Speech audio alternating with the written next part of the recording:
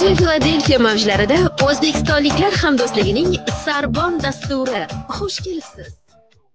Assalomu alaykum muhtaram do'stlar hurmatli radio muxlislari. Bugun o'ttizinchi noyabr juma. Amerikaning sharqiy sohilida kunduz soat birdan o'n daqiqa o'tdi o'zbekistonda hozir kech soat o'n bir shunday ekan radio filadelfiya bir yuz olti besh fm havo mavjlarida o'zbekistonliklar hamdo'stligining sarbon dasturi добрый день и добрый вечер уважаемые друзья дорогие радиослушатели сегодня 30 ноября пятница сейчас на востоке сша чуть больше часу дня уже ну, 10 минут второго, а в Узбекистане 1 часов вечера. Это значит, что на волне радио Филадельфия 106,5 FM очередной выпуск программы «Сарбон» Содружества узбекистанцев Большой Филадельфии. Tinglovchilar aziz do'stlar ma'lumki dastur homiysi irina vilk law office hamda rubicon realty group rahbari irina vilkdir bu inson nafaqat ko'chmas mulk muammolari bilan bevosita shug'ullanadigan advokat bundan tashqari ham realtor broker ham title agent litsenziyalariga ega. Umuman olganda amerika qonunchiligining qariyb barcha jabhalari borasida maslahatlarni irina vilkdan olishingiz mumkin. Irina vilk ikki yuz oltmish yetti to'qqiz yuz o'n sakkiz ellik besh ellik besh advokat filadelfiya va uning atrofida istiqomat qiluvchi o'zbekistonliklarning yaqin hamkori va maslahatchisi irina vilk ikki yuz oltmish yetti to'qqiz yuz o'n sakkiz ellik besh ellik besh. Muhtaram radio muxlislari bugungi dasturimizning birinchi soatidagi mehmonlarimiz bilan sizlarni tanishtiraman adabiyotshunos sabiha ayasalamova va katta filadelfiya o'zbekistonliklar hamdo'stligi faollaridan kamola opa shukurova va firdaus aka vohidov Дорогие друзья, гости первого часа сегодняшнего выпуска э, программы «Сорбон», литературовед, доцент Самаркандского университета Сабиха Алимовна Саламова и активные представители нашего комьюнити, нашего содружества Камола Шукуру и Фирдаус Ака Вахидов. Приветствую вас, дорогие гости. Здравствуйте. Здравствуйте. Здравствуйте.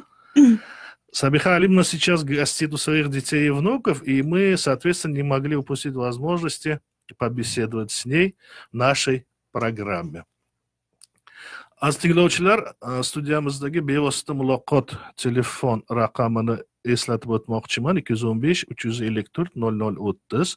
Savollaringizni bering fikringizni bildiring. Radio filadelfiya bir yuz oltiyu besh fm bevosita jonli aloqa telefon raqami ikki yuz o'n besh uch yuz ellik to'rt nol nol o'ttiz. Va ayni paytda facebook Америка Стан guruhida suhbatimiz namoyish etilmoqda. Дорогие радиослушатели, хочу напомнить номер телефона в нашей студии 215-354-0030. Задавайте ваши вопросы, делитесь мнением. Номер телефона прямого эфира студии радио Филадельфия 106,5 FM 215-354-0030. А также прямо сейчас на Facebook в группе Америка Стан идет видеотрансляция нашей беседы. Сабиха Алимовна, хочу поблагодарить вас и всех остальных гостей э, за то, что согласились принять участие в нашей передаче. Разрешите приветствовать вас на волне радио Филадельфия 106,5 FM, комьюнити радио Большой русскоязычной Филадельфии. Всем хочу напомнить, программа «Сарбом» всегда старается приглашать гостей, настоящих профессионалов своего дела, так как они становятся сарбонами, проводниками нашего сегодняшнего каравана для наших радиослушателей, как в Америке, так и в Соединенных, э, как в Соединенных Штатах, так и в Узбекистане. Алимовна, давайте, ну, я-то вас хорошо знаю, давайте познакомим наших слушателей с вами поближе. Расскажите о себе, пожалуйста. Рядом со мной моя дочь дочь Нурдина Шукурова, Камола Шукурова. Ага. И рядом со мной еще мой зять, ее супруг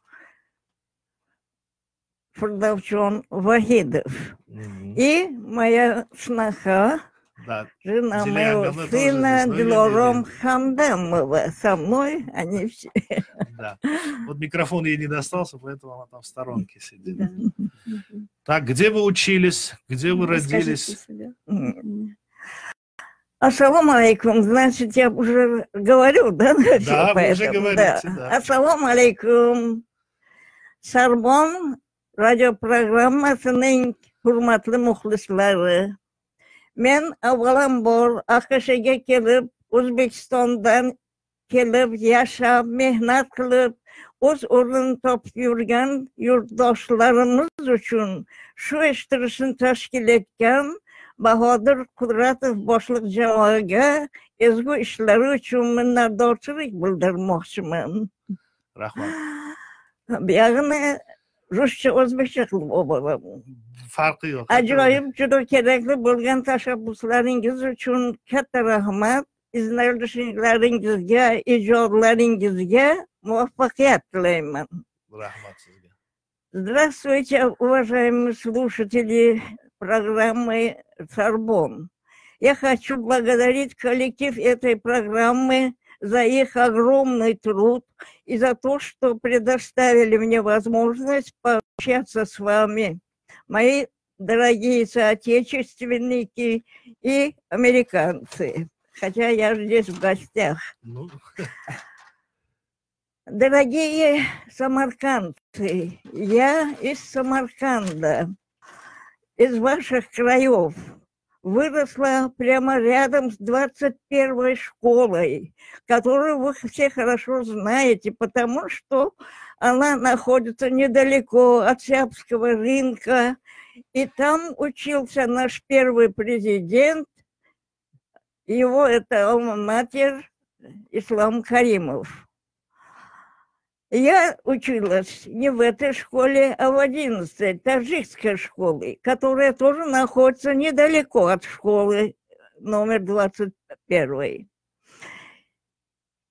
И значит, первый мой родной язык – это таджикский. Но потом в связи с переездом мне пришлось продолжать учебу в Катючинском районе, в школе номер 20. Это уже была чисто узбекская школа, и второй мой язык уже, конечно, узбекский. А после окончания школы поступила в факультет узбекской филологии Самаркандского государственного университета. А после окончания университета, учитывая мой интерес к русской и зарубежной литературе, оставили меня работать на кафедре русской и зарубежной литературы, и моим третьим родным языком стал уже и русский язык. А между прочим, это ничего не значит, просто я э, говорю о факте.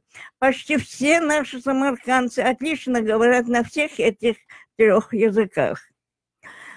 А может быть, уже и на четырех языках.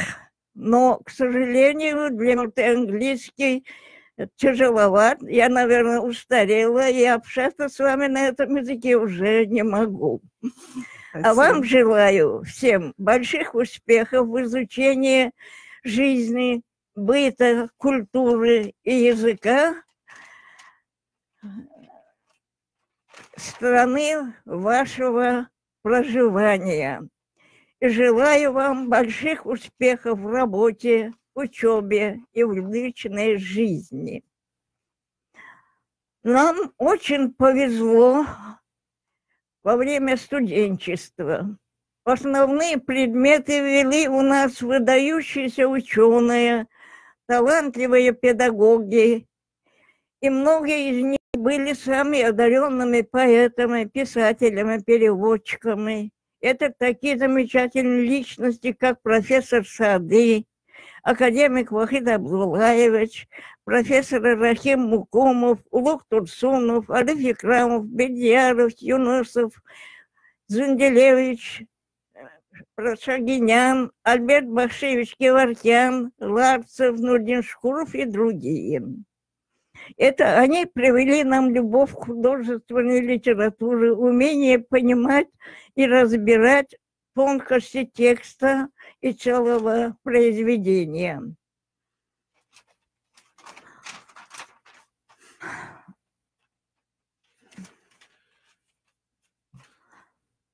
Вот этот, наверное, вот это, наверное, и подтолкнуло меня к научной работе. Еще в студенческие годы я начала интересоваться вопросами художественного перевода и в 1969 году защитила кандидатскую диссертацию по проблемам перевода произведения Михаила Шолохова.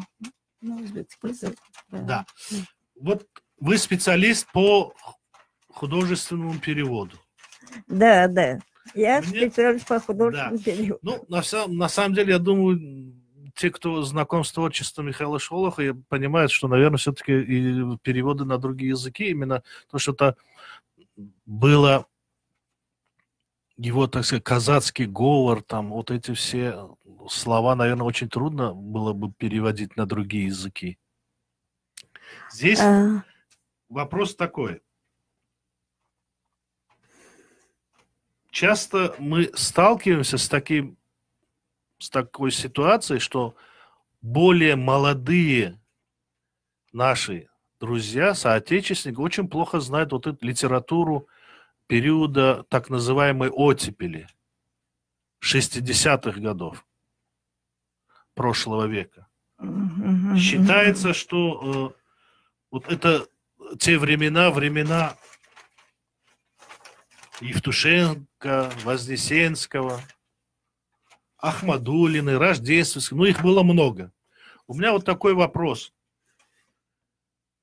В это время что-то происходило в узбекской литературе? Я лично переводила, так хотите сказать? Да? Нет. Мож, мож, а. Можно говорить о, современ... о, о том времени. Вы что вы переводили? Я выбрала произведение Шолохова, потому что очень увлекалась и русской литературой, и потом стиль Шолохова это очень особый стиль, его словарь очень богатый, и он э, проблемы современности поднимает, освещает своей современности, конечно, это и 20-е годы, и революционный период, 30-е, но везде он очень хорошо рисует и человеческие характеры, и пейзажи, и вместе с тем дает эпическую картину всего, что происходит. Поэтому я и выбрала Шолохова. Я еще, конечно, студенческие годы э, занималась этим переводом. Тогда, наоборот, я занималась узбекского на русский. Это наша классика перевода произведения Мукуму, э, Мукими на русский язык. Ну, потом вот так как и вместе с тем, что я и очень любила, и вместе с тем, что я уже работала на кафедре русской зарубежной литературы, я выбрала и этот предмет и по мере возможности хотела показать мастерство переводчика который перевел это произведение. Это и Мирзакалон Исмаили, это Вагоб Рузыматов, они вот очень хорошо перевели произведение. Здесь мы чуть-чуть эту тему затронули. Я просто хочу э, сказать, вот пригласить к разговору Камалу Ити, Фердаусака, вот, э, Дилора здесь без микрофона, но она слышит. Ну, если она будет громко говорить, мы тоже ее услышим. Вы были спутницей жизни очень известного в Узбекистане журналиста, поэта и ученого Нуруддина Шукуровича Шукурова. Вот каково это, вот семья интеллигентов, интеллектуалов, где муж доктор наук, профессор, главный редактор большой газеты, а жена кандидат наук. Но, ну, тем не менее, в семье есть дети, нужно чем-то заниматься, да? Да. Я предполагаю, что они-то поженились, наверное, когда были молодые, то есть еще не были докторами, профессорами, да?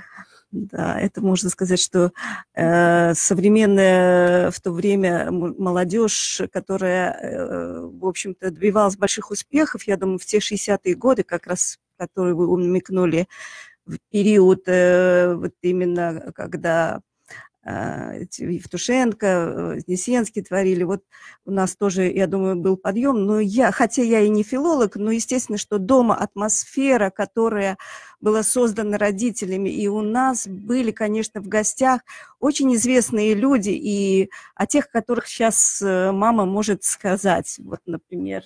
У нас звонок, я извиняюсь. Да. Звонок, слушай. Ну, что я могу сказать? Наш дом... Да, сейчас звонок. Хотят задать Алло, assalomu alaykum. Assalomu alaykum. Men Sorbon radiosiga telefon qilyapmanmi? Xuddi shunday.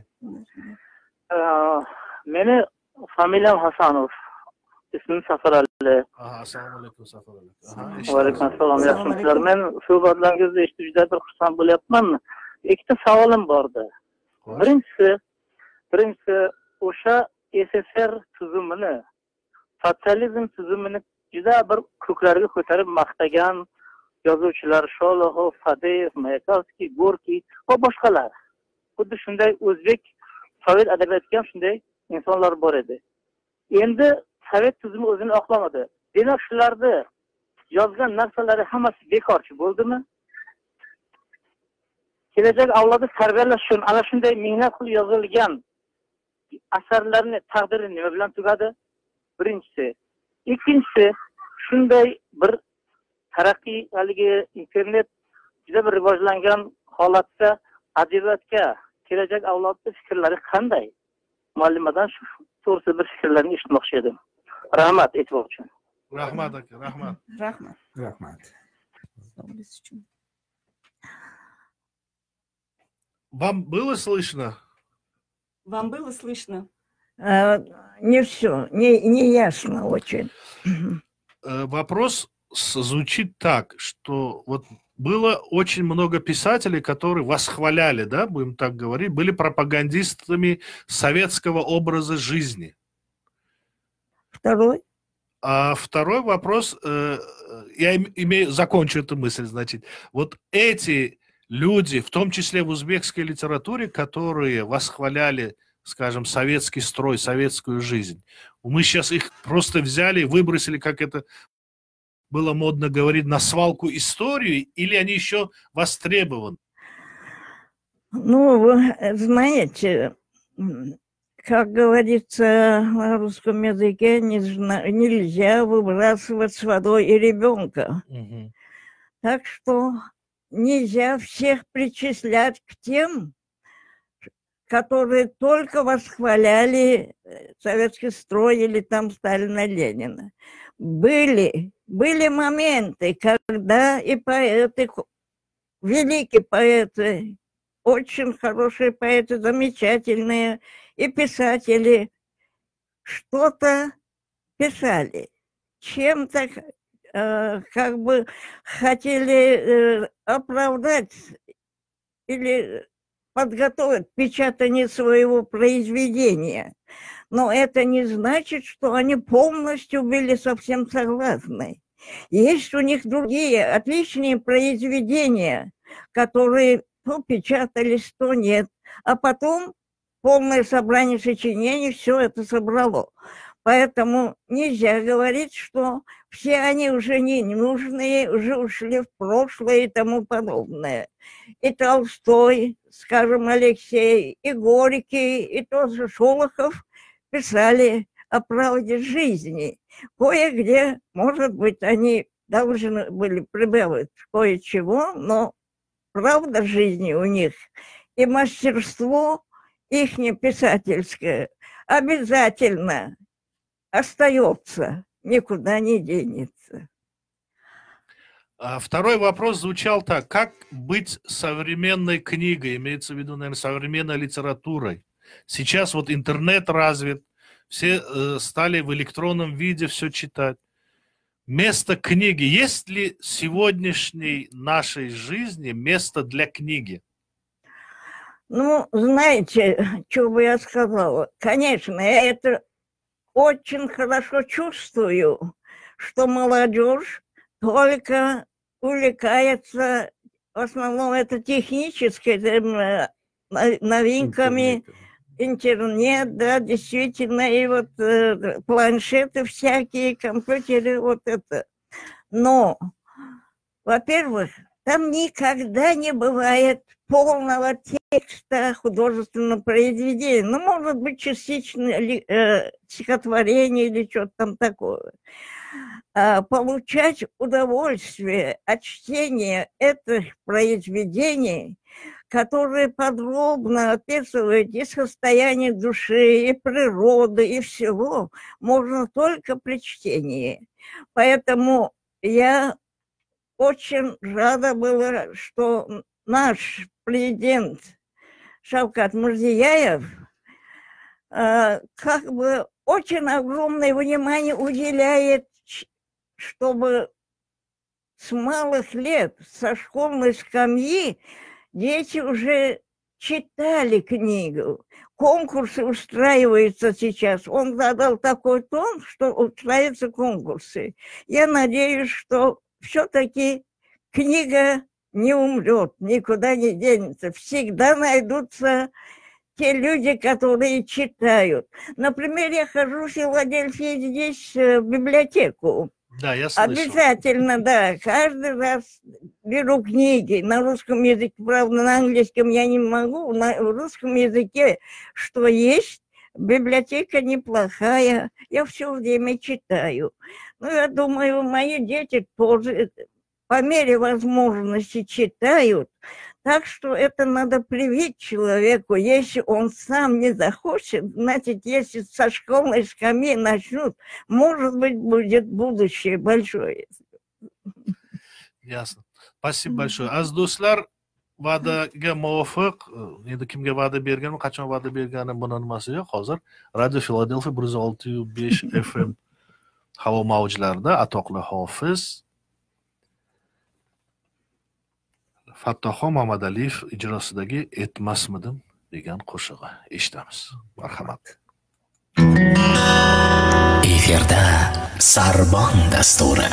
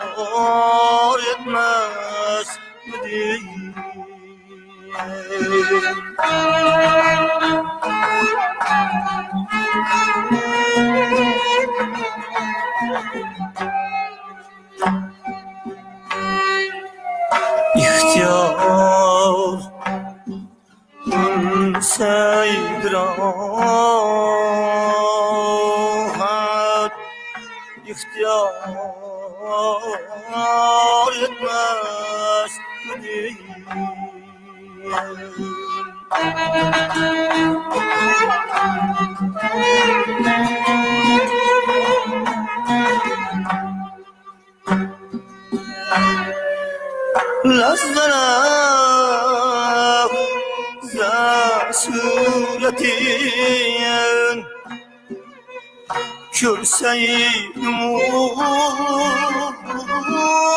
yerimlerim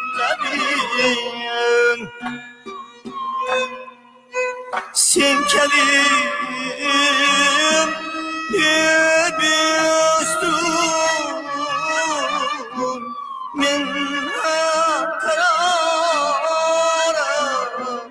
etmez dedi.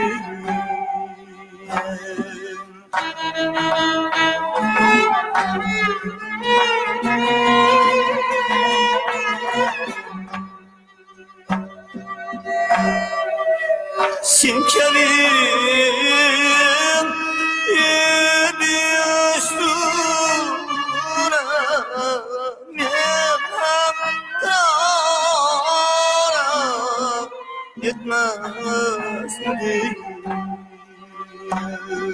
Thank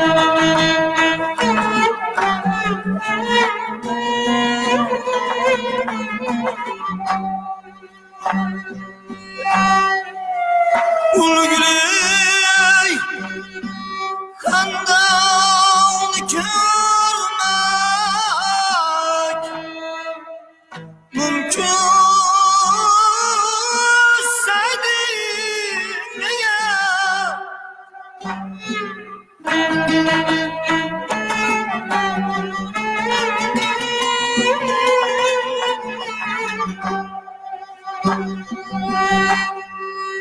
Send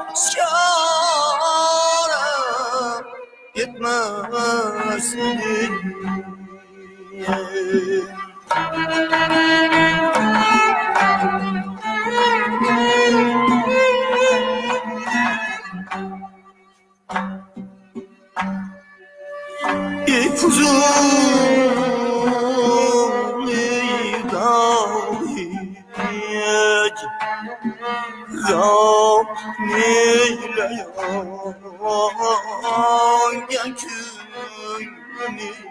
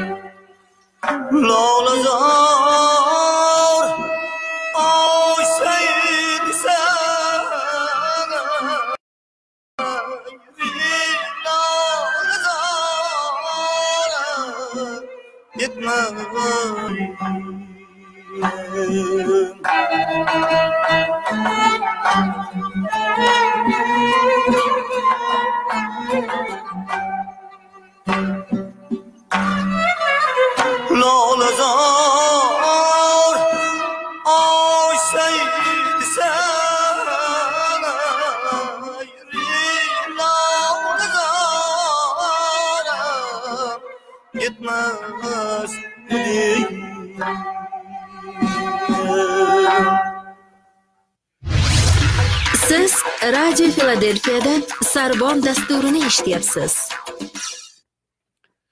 Sar- Sarbon dasturi davom etadi. Bugun mehmonlarimiz aytganimizdek Sabiha Aya Salomova, kishini qizlari, kelinlari va kuyovlari bugun Sarbon radiosida ishtirok etyaptilar. Bizlar boy- э, boyna bir mavzuni boshlagan edik, o'shani davom etamiz. Перехожу на русский, э, продолжим тему. Вот я хотел узнать, у вас, наверное, э, дома приходили очень Да. интересные люди, все-таки были связаны с литературой, с искусством. Да, я, э, детство мое прошло среди фактически поэтов и писателей.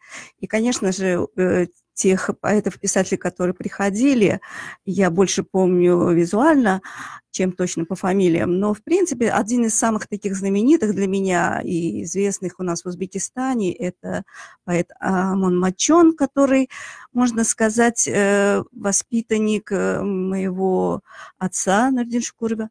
И э, благодаря ему, э, в общем-то, я познакомилась и с Евгением Евтушенко, который бывал в гостях в Самарканде. И однажды приехав э, вместе с Амон Мачоном, он он мне даже подписал книгу.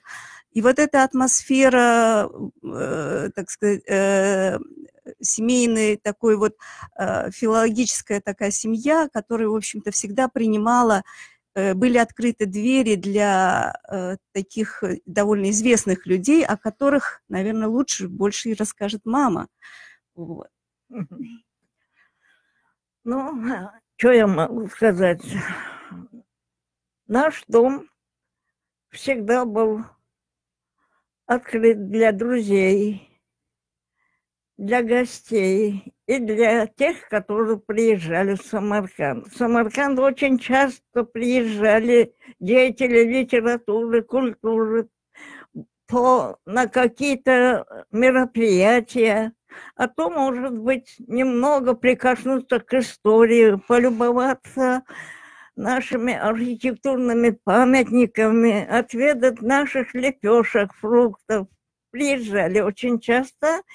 И, конечно, Нурдин Шкуров обязательно приглашал их к нам домой.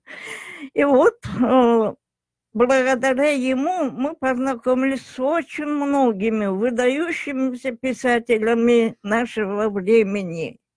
Ну, кое-кто еще, конечно, и здесь и работает, и пишет, и мы немного знаем их, общаемся иногда. Это всем известный Расул Гамзатов, Кайсин Кулиев, Сабит Муканов, вот она сказала сейчас, Евтушенко, Кендряков, ну, это всесоюзного такого масштаба, скажем. А узбекских писателей могу почти всех назвать, потому что почти все бывали у нас. И Гафур Гулям, и Абдулла Хахар, и а, а- Абдулла Арипов, и Амон Мачан, и Эркин Вахидов. Эркин Вахидов, и Уткур Хашимов, и Абдулла можно Уткур Хашимов, Миртемир, Вагоб Разиматов, Эркин Вахидов, почти все, в общем-то, были, бывали у нас обязательно. И каждый раз, конечно, я тоже могла быть свидетелем их бесед. Между, между прочим, между кухней и гостиной было, что я была свидетелем. А, Но, кроме того, вот такие поэты-писатели, как сейчас она назвала Амона, Шаукат, Ильхом Хасановы, они помню тоже Ильхома, да.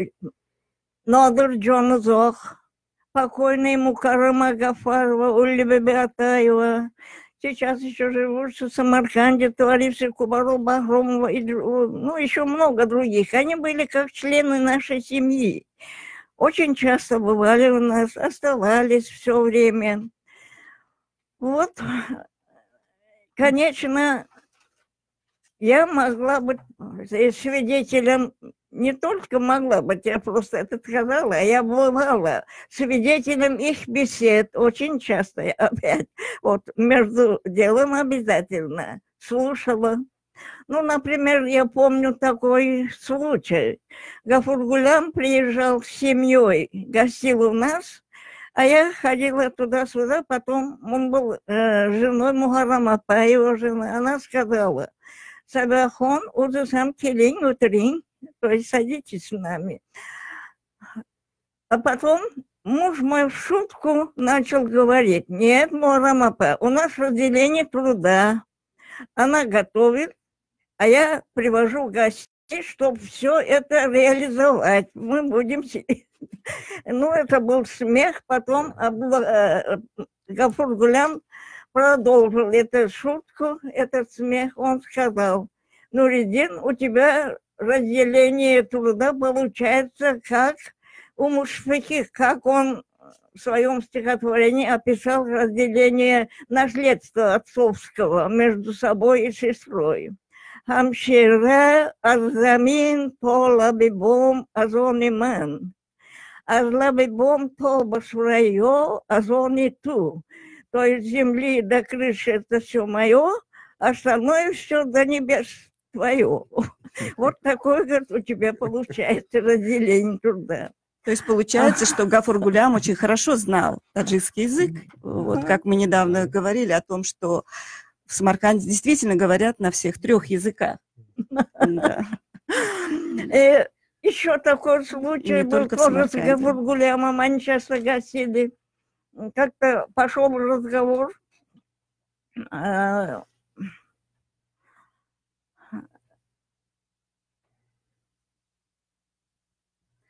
Узбек, таджик и тому подобное. И вот он э, прочитал свое стихотворение. Прочитал свое стихотворение. Потому что я таджичка, а муж мой узбек. А таких браков много, и поэтому он прочитал. Якын куда кудагай, кадым кадымдан буйон, бірінің оғлы тоджи, келіні өзбек қызы. Отасы фарғоналик, онасы азбадахшон, она тілісі тоджик, амо өзбекдір өзі. То есть я хочу сказать, что им многим вот, людям цивилизованным, и таким вот выдающимся было свойственно это чувство интернационализма и особенно единство двух народов. Вот у нас и таджиков и узбеков здесь тоже много, по-моему. Да, Да. Вот единство этих народов, это всегда было э, э, удивительно. Язык как будто бы другой, а на самом деле все Всё. это, этот народ связан между собой. Об этом пишет и Эркин Вахидов Мгм. в своем замечательном стихотворении. Тоджик бродарlarımge называется. Biz iki yondosh yurtga, qadimdan qondosh yurtga, Kadir don John doş yurtke farzand bulamız dostum. Koru işu amalda ham hududumuz azaldan. Bir bayt kabı azaldan payvand bulamız dostum. Şacarada tomurmuz, tiyanşanmız, pomurmuz, uzumuzni tanırmız. Baland bo'lamiz do'stim. Beruniy sinolarga jonidek siymolarga fonidek daholarga g'afuru mirzolarga dilband bo'lamiz do'stim как раз интересный момент Хафур Гулам говорит, э, раска- это рассказывал, это я не видел, но не слышала. Он говорил, э, когда встречались, говорили, он сам знал, таджикский язык хорошо знал, персидский, арабский алфавит, все. Говорит, Турсун, тут Турсун, я Гулом, кто из нас таджики, кто из нас узбек, скажи мне. Ну, вот такой интернационализм был очень свойственно. Вот я могла быть, э, ну, как бы свидетелем или рассказа, или же таких событий тогда. Конечно, все они у нас э, очень хорошо э, отзывались о Самарканде, о самаркандцах, о гостеприимстве, о всем этом. И вот я хочу сказать, что чтобы эта дружба продолжалась всегда, таджико-узбекская, когда такие великие люди на это обращали очень большое внимание. такое. Спасибо. Вот здесь А. Фердаусака как-то мне рассказывал. Фердаусака, расскажите нам историю. Ну, это не совсем, конечно, это самый, э, это а- а- один из, э, э, можно сказать, э, Эпизодов. эпизодов Да. э, гостей. Он не настолько гость этой семьи Нурдин Шукуровича, он постоянно, как у себя дома бывал. Это Домла Хаджиметов, Да. который всегда с таким большим юмором э, мог все это рассказать, описать.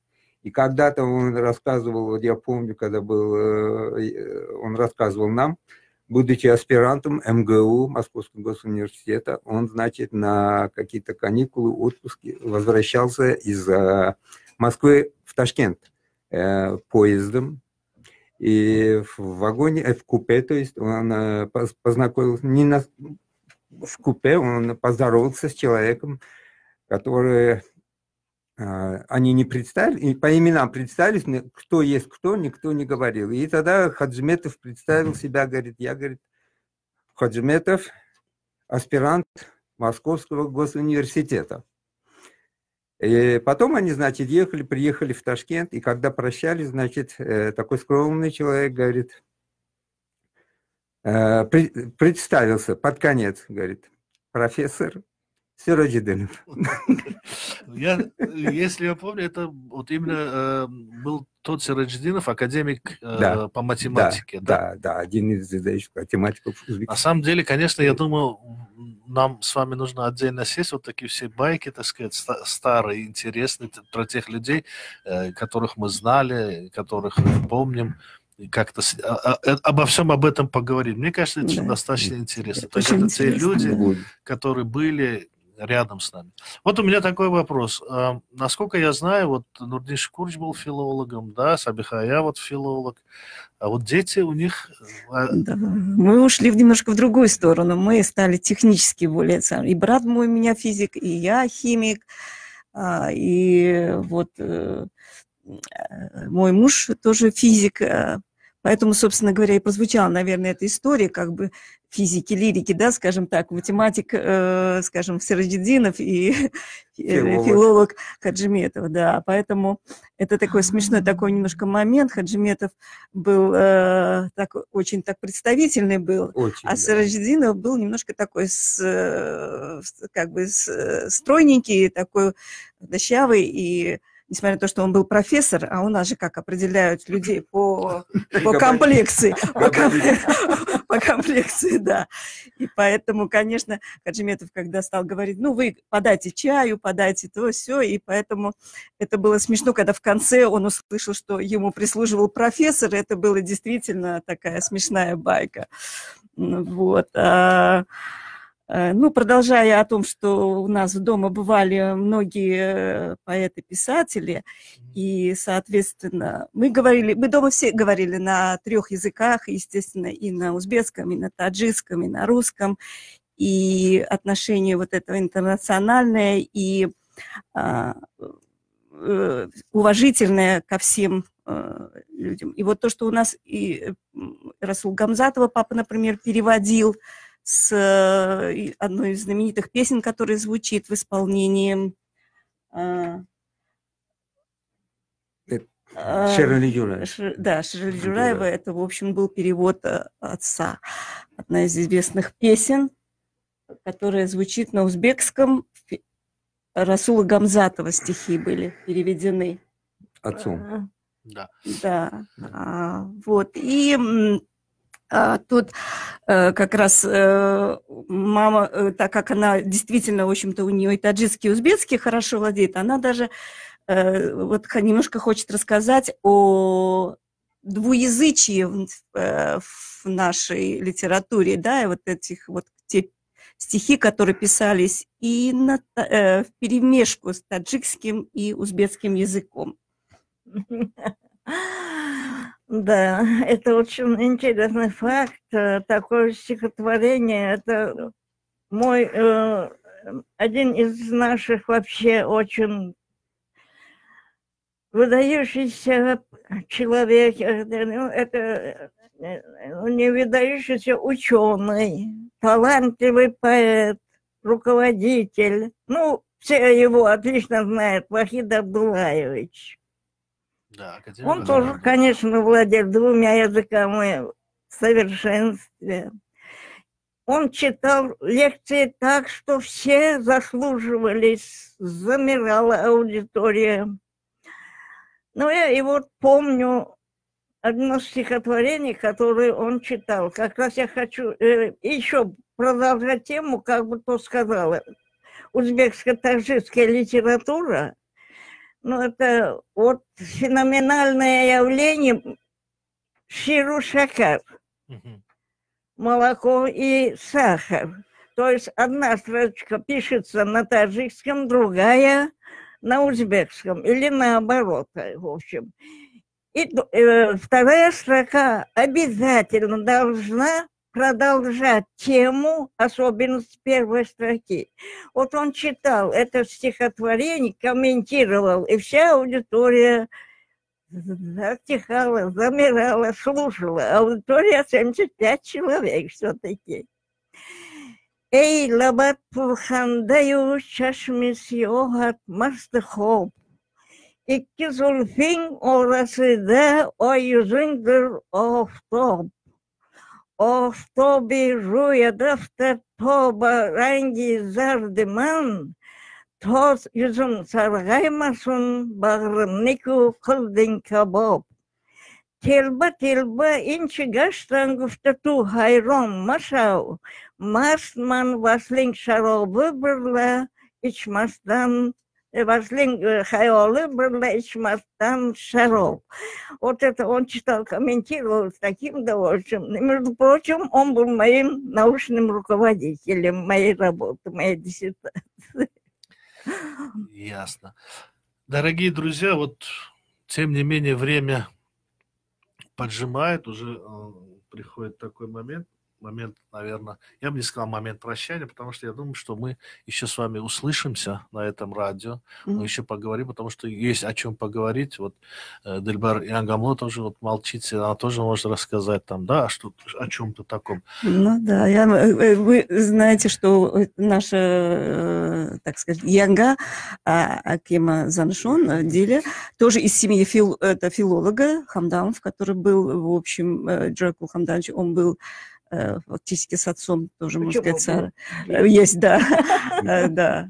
А, не работает. не работает, да. Я имею в виду, что вместе с отцом они работали на факультете узбекской филологии, и э, а, тоже очень много творческих э, у него начинаний. Одно из таких очень заслуживающих внимания, он э, написал э, э, книжку, в которой э, рассказал о всей э, э, нашей эм, семье, то есть о, ген- составил как бы генеалогическое дерево семьи С- Шаджара.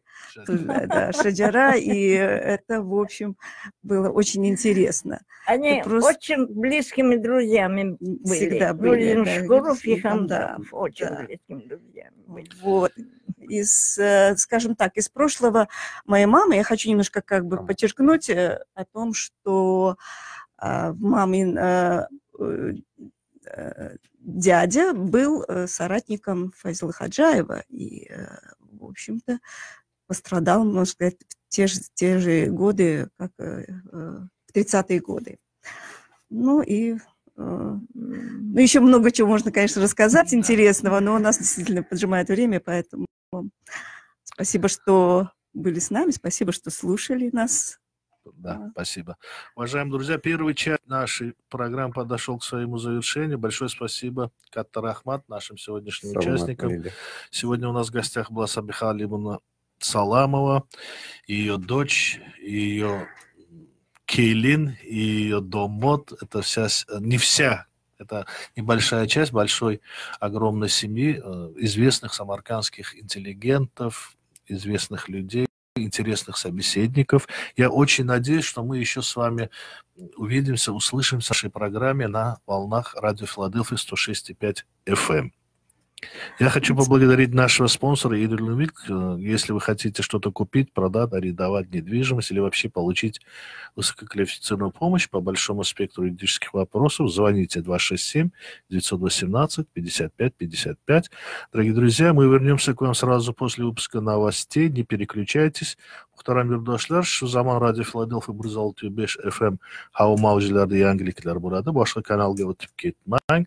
Sizlarni yana qiziqarli mavzular kutmoqda.